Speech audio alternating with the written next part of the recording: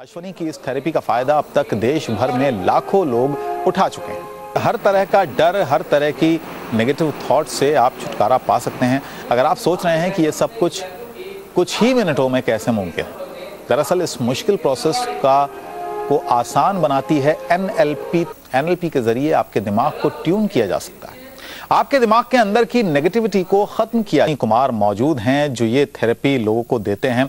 अश्विनी जी, पहले तो इस थेरेपी के बारे में जानना चाहेंगे और क्या क्या लतें क्या क्या डर इससे दूर हो सकते हैं? अगर आप वो हमें करके दिखाएँ डेमो करके दिखाएँ तो लोगों को थोड़ा बहुत कुछ साफ़ हो जाएगा कि किस तरीके से थेरेपी काम करती है। दूर किया जा सकता है। बहरहाल एनएलपी थेरेपी को एक तरह से योग की तरह इसी रूप में कहा जा सकता है, जिस तरह से योग के ज़रिए अंदरूनी ताकत को बढ़ाया जा सकता है, उसी तरह से एनएलपी थेरेपी के ज़रिए भी इतनी ताकत बढ़ाई जा सकती है। अभी अभी आपने देखा कि यहाँ पे इन्होंने एक ज़िक्र किया एनएलपी। आप ऐसे कुछ लोगों को मालूम होगा एनएलपी क्या है, लेकिन आपको जिनको नहीं मालूम, मैं बता दूँ, NLP stands for neuro linguistic programming एक ऐसा विज्ञान कि जिनकी टेक्निक्स की मदद से हम अपने दिमाग को प्रोग्राम करके नकारात्मक विचारों को, नकारात्मक धारणाओं को, या हमारी बुरी लतों को भी दूर कर सकते हैं एडिक्शन से छुटकारा पा सकते हैं, व्यसन वगैरह दूर कर सकते हैं। और एनएलपी को कहा जाता है science of human communication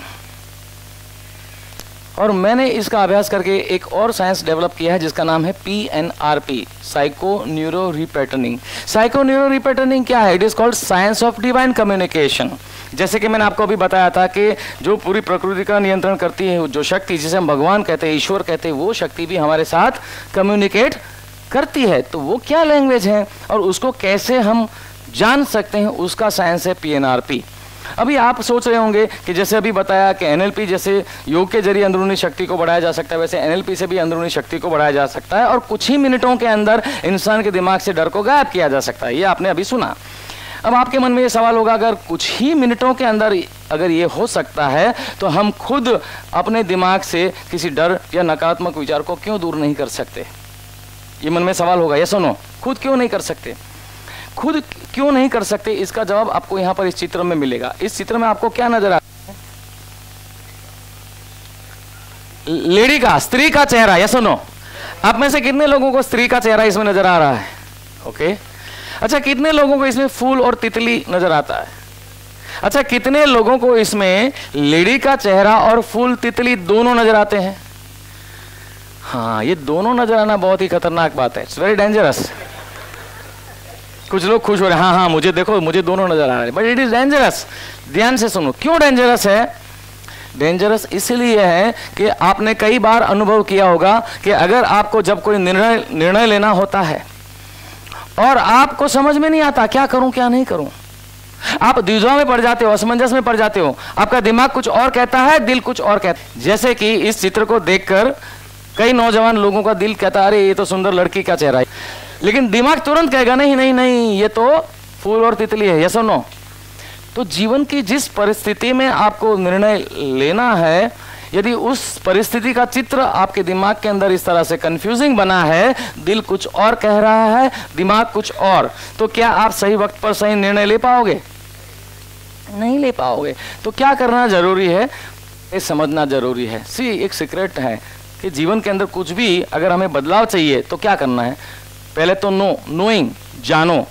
then understand समझो and implementing knowing understanding and implementing सही है कि नहीं? अभी आप जान रहे हो। अब समझो भी। क्यों, क्या करना पड़ेगा?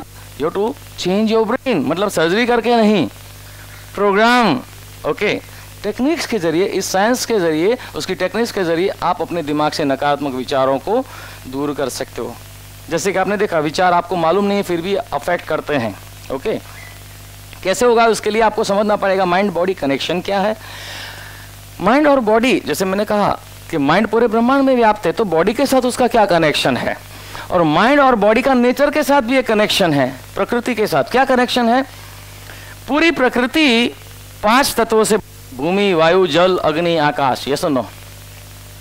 और उसी पाँच तत्व से हमारा शरीर भी बना है। Do you agree with that और इसी पाँच तत्वों से प्रकृति में और हमारे शरीर में भी तीन गुण और तीन दोष उत्पन्न होते गुण कौन से? रजस, तमस, सत्व।